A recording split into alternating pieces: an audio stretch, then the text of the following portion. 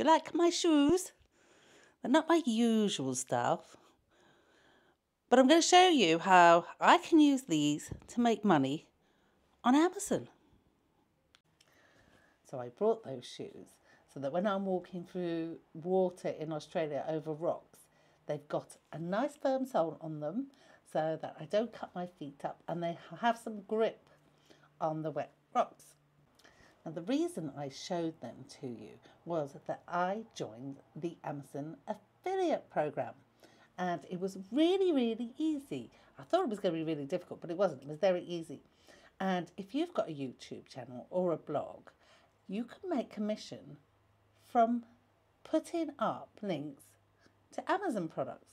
So every time someone clicks on your link and buys the product, you make a little bit of commission. Now, it's not a massive amount of commission. It's like from up to 12%, and some of it's like not, not a lot at all, actually. But that's on the bigger items. But every little penny helps when we're trying to make a little bit of extra income. And I bet you have brought stuff on Amazon. And you probably talk about it. And if you're going to talk about it, put the put a link to it. I'm going to show you how we do it. So, on you go on this website here. You can see it. So, Amazon Affiliate EU start. And I'm just going to show you the quick way that I did it. I didn't read all the bluff because you didn't need to um, just scroll down and it's got loads of information on it. So if you want to read through it, do. But if you go down here and it's got the application review process. Oops, I went a bit fast there.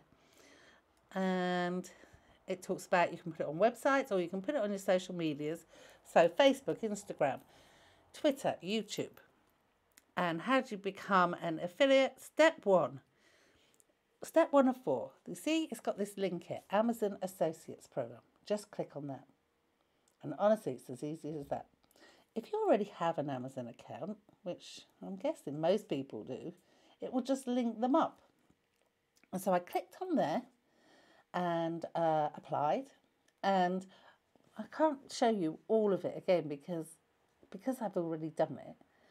I can't show you all the steps again. I mean, it has them on this page as well, but honestly, it's dead easy. And you just click there and then it'll ask you all these questions. Not there it took me about 10 minutes. Put in your websites. In my case i put in my youtube channel. And then it go it goes through and then you'll get like um, an email with a code on it. And as long as your name or your tag has 21 at the end you've been approved it's dead easy then what you do is you go on your amazon account let me pull mine up. Here are those shoes that I was just telling you about. So here they're twenty four ninety nine. Now I did buy them on the the Prime, whatever they called it. You know when they had their special two day Prime event. So I got them for fifteen pound. Was that? But look how easy it is. See at the top here at the top, get link text. Click on that and there you go. That's the link you use, and that links to your associate ID and your tracking ID.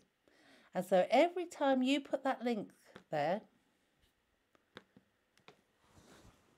whenever anybody clicks on it, if they buy that product, you will get the commission. That easy. Everyone should be doing this if you're doing anything. Now, I don't think that you should just suddenly just start linking products for no good reason. And I don't I think that's a bit disingenuous as well. I would never want to recommend to anybody else something that I didn't use myself or and particularly like. So you may have noticed on my video last week about getting monetized on YouTube, I made reference to my DJI mics and my pocket free camera and some of the other equipment I used. Um, and because I do genuinely use them and I think that they're worth, you know, they're worth using, um, I did put links in my description to them. Now, I haven't sold any yet, but can't, can't have miracles, can we? But then on your page, right, so here's my associate page. And down here, like, okay, I've had one click and so it shows you series one, series two, series three. Series three is how many clicks you've had. Series one is how many sales you've had from the links that we were just talking about. And series two is if you join the bounties program. So I, I, I can't really think that I can, uh, it, it's kind of going to work for me at the moment. The bounties program is if you refer someone to one of their the Amazon services such as Amazon Prime, uh, videos, music, uh, the audiobooks. Um, so you can sign up to that, and if people refer, they give you like three pound or three pound fifty for everybody that signs up, um, and you just get like a referral fee for it. So if if you kind of are talking about something like that, it's worth doing. But I can't see how that will fit in with my what I'm doing at the moment. And that's quite easy to set up as well. When they send you the original email to say you've been accepted, they actually have the link to join the bounty program as well.